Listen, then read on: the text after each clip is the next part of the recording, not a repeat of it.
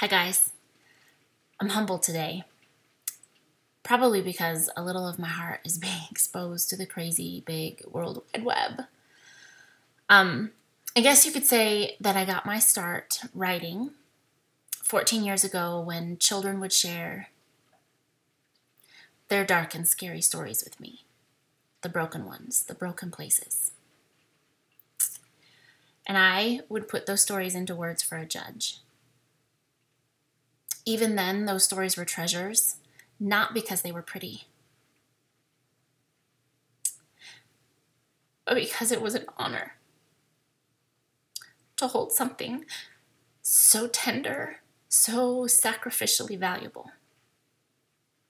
I have that same honor now.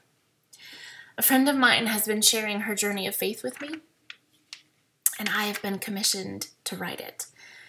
And it kind of floors me sometimes that people trust me with their stories because it's your moments, your life moments, that make a story.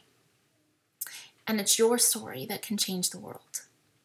So, today I get to share a bit of my friend's story with you her moments, her faith, her struggle. And her story challenges me to seek for Jesus in the deep, dark, scary places. So, this is only the beginning, and I hope you come with me.